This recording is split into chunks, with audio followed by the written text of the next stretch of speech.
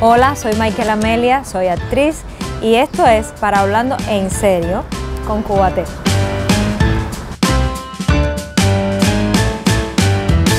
Comencé en la actuación en la radio de niña eh, en un programa infantil que se llamaba Somos la Niñez.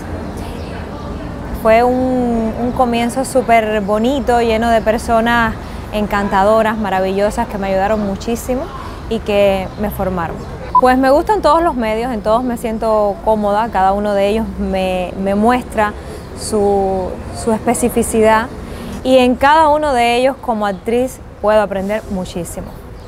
Lucía es un personaje que llegó a mí de imprevisto, un personaje del cual he aprendido muchísimo y un personaje que como actriz me ha hecho crecer muchísimo también.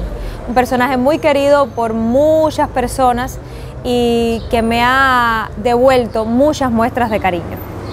Con Lucía comparto la humanidad. Lucía y Michael Amelia comparten la humanidad, así de.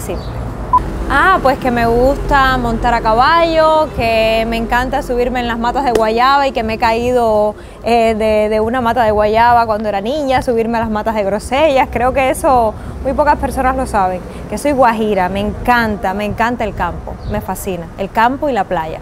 Esa pregunta está fuerte porque es que es como que eh, el ego hablando de uno y prefiero... Pero bueno, una, una sí les puedo decir, creo que soy bastante sincera, bastante sincera. Mi mayor victoria es amanecer cada día y sentir que estoy viva, que estoy saludable, que mi familia está a mi lado, que tiene salud y que estamos unidos. Esa es mi mayor victoria. Bueno, ahora estoy trabajando en varios proyectos, pero les voy a hablar de uno que está ya prácticamente en edición, prácticamente para salir en la televisión.